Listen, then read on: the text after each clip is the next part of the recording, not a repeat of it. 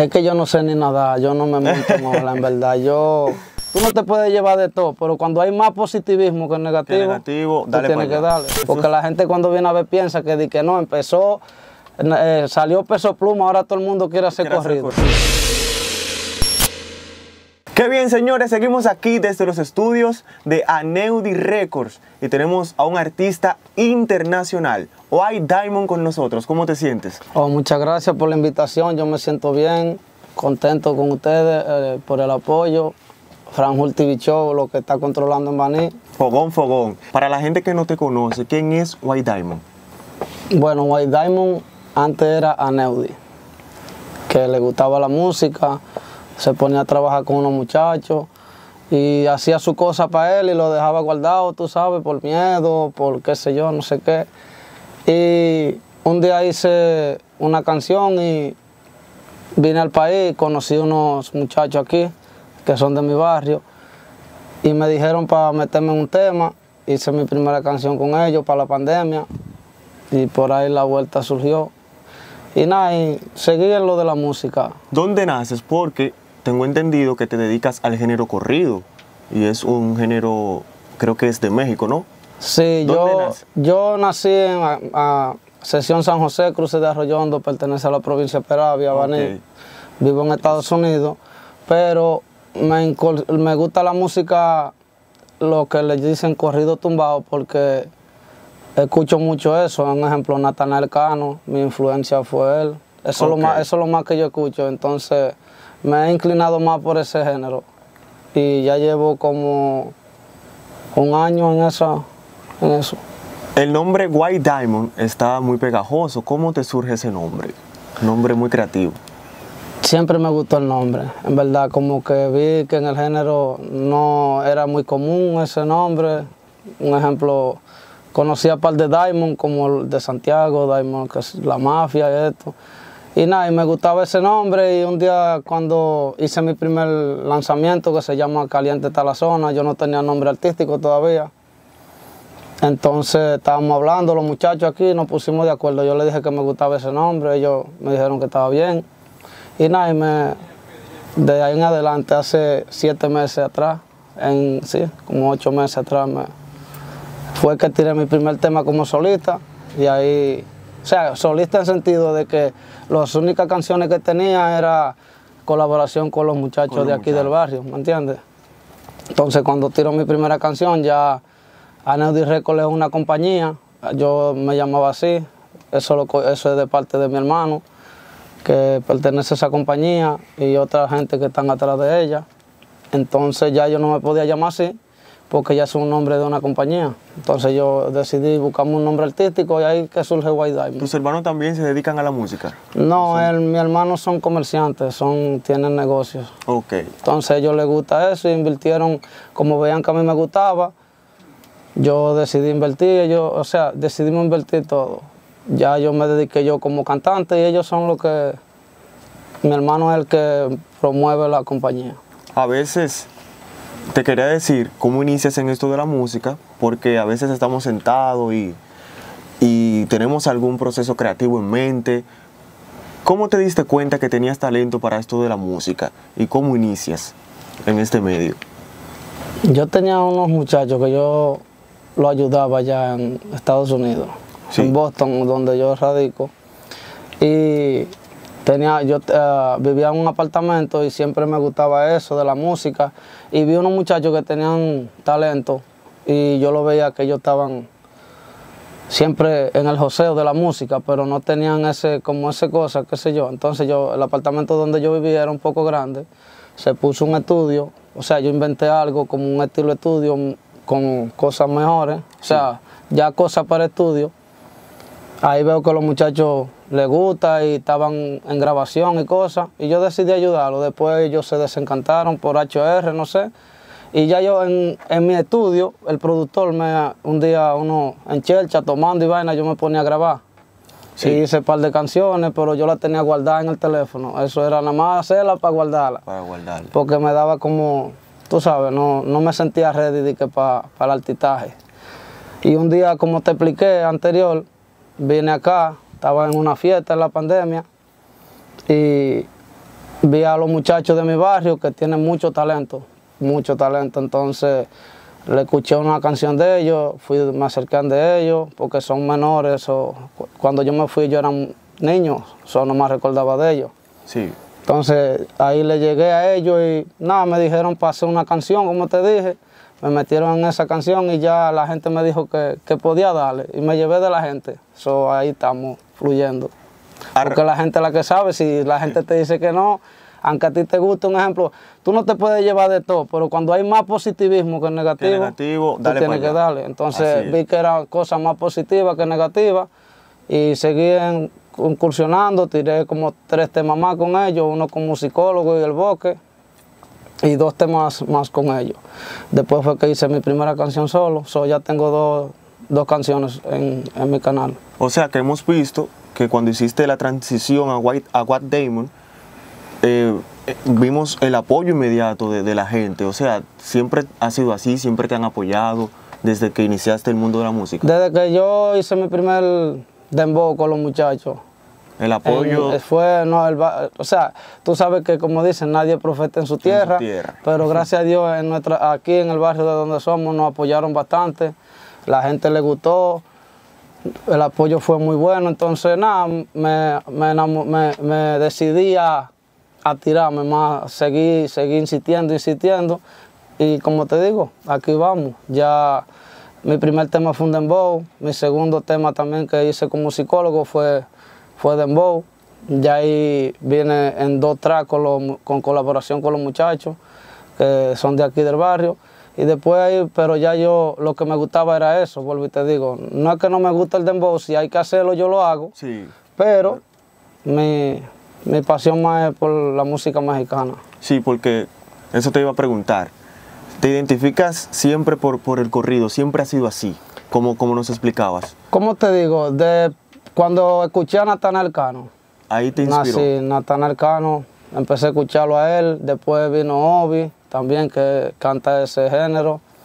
Ya han transcurrido mucho, mucho más que como ahora Peso Pluma, mucho Oh, talento, duro. muy duro. Pero en realidad, en realidad, el primero que escuché fue Natanael Cano, me gustó el ritmo, me gustó, entonces empezamos a, a fluir en ese ritmo y tenemos unas cuantas canciones, están todas guardadas, en su debido tiempo se van a tirar, pero tenemos como unos 10 corridos por ahí para tirarlo. ¿Qué Pero eso no es desde ahora, no. Porque la gente cuando viene a ver piensa que, que no, empezó, eh, salió peso pluma, ahora todo el mundo quiere hacer Quiere hacer corrido. No, no, yo no. tengo un corrido, que lo, un tumbado que lo tiré hace siete meses.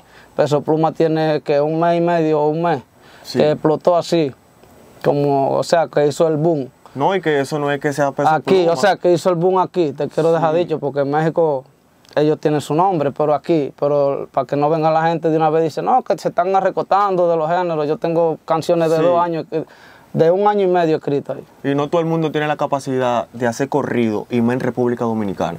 O sea, que es digno de aplaudir que un joven dominicano haga este tipo de género, que es muy difícil y por eso hay que respetarte.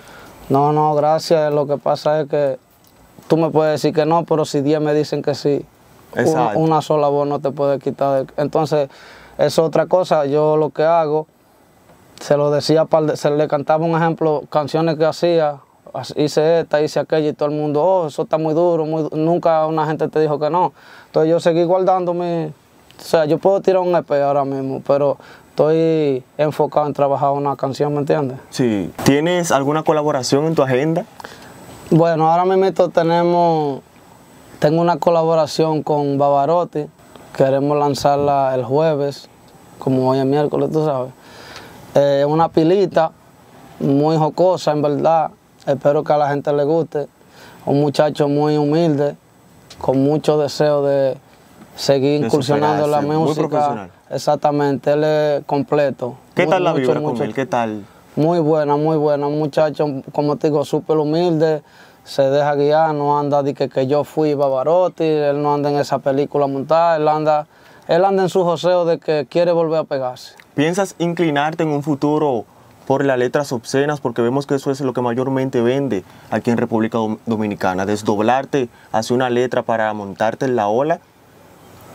Es que yo no sé ni nada, yo no me monto en ola, en verdad. Yo, En los senos no te voy a decir que voy a escupir para arriba para que no me, pero no en mi, no me encuentro haciendo ese flow porque como te digo soy soy criado con mi abuelo y no me hallo como en ese flow de, de yo de que anda haciendo eso a lo que era en verdad. ¿Cómo Para va? mí lo que era en sentido de que no hay necesidad de habiendo tanta letra tú Dedicarte ponerte a tú puedes decir una palabrita porque una pero ya una canción completa diciendo desde que arrancaste matando como que tú eres carnicero no así no Además, el corrido, el corrido no, exige, no, no exige mucho a eso, a, la- a las letras explícitas. en verdad tú tienes que, que fluir fluir. en, ma- en sentido diferente, tú sabes, ahí no lleva, ahí si tú te vas en un corrido, tú vas a hacer una canción de sentimiento, ya tú tienes que, o, o desamor o lo que sea, tú tienes que hablar más de, de detalle. Exacto. Y si va a ser cosa de la calle, es cosa de la calle.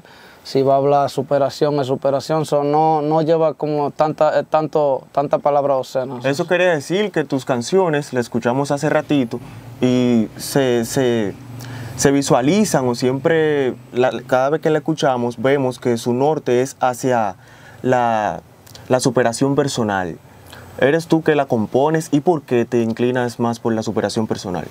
Yo compongo la mayoría de ellas, sí. Vuelvo y te digo, si yo veo una canción que me gusta y me la presentan, todo el mundo tiene derecho a, a recibir porque hasta Mar Anthony le escriben. ¿Y quién es Mar Anthony?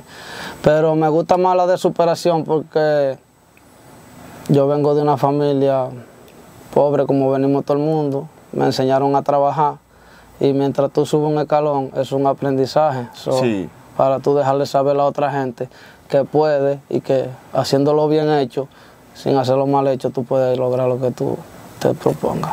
La vieja orando. Háblanos de este tema. Mi vieja ora mucho de ella de la iglesia. Ese tema es un corrido de superación como casi todos los otros, pero habla más de, de donde yo vengo, tú sabes. Sí. So, cómo surge todo y cómo uno se va superando. Mi abuela es de la iglesia y por ahí sale el coro de la vieja orando en colaboración con uno de los muchachos de aquí que muy duro, tiene un lápiz muy duro. Yo tengo una incógnita cuando escuché tu canción con- junto a Bavarotti. Eh, ¿La creación fue tuya, fue de él? ¿De quién fue la idea de, de la colaboración? Cuando él llegó al estudio, yo le, él, él venía, venía con la mente de que compartiéramos. Después yo le enseñé mi música, que es corrido y vaina. Empezamos a hablar que queremos montar un corrido. Pero yo tenía esa, esa pista de pilita como un año guardada ahí. Esa pista que tú escuchaste ahí tiene un año guardada. Sí. Y, yo le dije a él, mira, yo tengo una pilita. Y empecé a tararearle y me dijo, la letra también, pero vamos a buscarle otro coro. So, él inventó su coro. Y yo hice mi verso que me toca a mí y él hizo, él elaboró el coro. Pero en realidad eso era una temática que yo tenía ya guardada hace de un Plasmada. año, sí. Pero él, él, fluimos los dos en el estudio. Hemos visto cómo ha evolucionado el género corrido y más en República Dominicana, un país que no está acostumbrado, señores, a escuchar este tipo de piezas, de piezas musicales. Eh, ¿Cómo valoras tú este tipo de música aquí en República Dominicana? Eh, Peso Pluma, Natanael Cano, o sea, tan súper pegado aquí en República Dominicana. ¿Qué tal te parece este, estos temas de estos jóvenes que, que han impactado grandemente la República Dominicana? Mira, el corrido, para mí, para mí, nos salió de México, o sea, que vino, se dio a conocer más la música mexicana. Fue, para mí, lo- lo- propulsores de eso fue cuando salió a los dos carnales. Sí. Eso fueron los que fue sacaron, que rompió. que rompieron con todo. Entonces, vuelvo y te digo, está Natanael Cano siempre en su flow de su corrido tumbado, porque ya lo que ah, los dos carnales hacen son música regional, ¿me entiendes? Pero, eh, como te digo, ya, ya todo el mundo estaba escuchando la mezcla de DJ Adoni, ya eso fue lo que rompió aquí, Sí. los dos carnales. So, ya ahí se empe- empezó a incursionar todo, en Dominicana, todo el mundo vamos a escuchar, se empezó a escuchar más la música mexicana. Ahí salió Grupo Firme. Grupo firme. Grupo Firme. Yo escucho todas esas canciones, ¿entiendes? Entonces Son ahora, duros, duros, duros, ahora yo duros. veo que Peso Pluma lo escucho hace mucho, una canción muy vieja de él, pero él se pegó ahora. Por eso es que vuelvo y te digo, tú tienes que ser consistente en lo que te gusta, porque tú no sabes en lo que tú vas en cuál es que tú vas a hacer boom.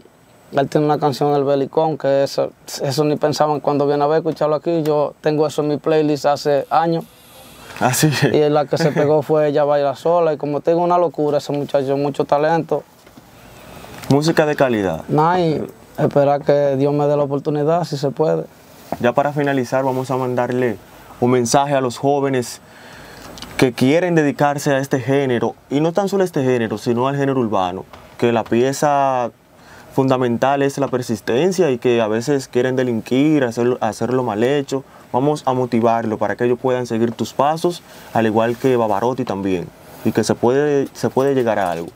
Mira, como te digo, haciendo la cosa bien hecha, mi consejo es hacer la cosa bien hecha, dejarse guiar, porque cuando tú te dejas guiar, las cosas te salen mejor. Hay muchos jóvenes con talento que le quieren ayudar y ellos creen que saben más que el que te va a ayudar. ¿Me entiendes? Y hay mucha gente que tiene mucha hambre y hay muchos que te lo están ayudando y no valoran Y eso. no se dejan So, tienen ayudar, que por eso valorar más al que te está ayudando, porque no todo el mundo saca de su tiempo para ponerte atención. Exacto. ¿Me entiendes? Entonces tienen que respetar más y, y tener más disciplina, en verdad, la disciplina ante todo, porque con eso es que se llega lejos. Queremos agradecerte por estar para las cámaras de Franjul TV Show. No, no, gracias a ustedes y gracias a Franjul por la invitación. Como les digo, este estudio de ustedes, cuando ustedes quieran venir, estamos a la orden. Muchas gracias, hermano. Gracias White. Diamond estuvo con nosotros para Franjul TV Show. Será hasta una próxima entrega y muchas gracias.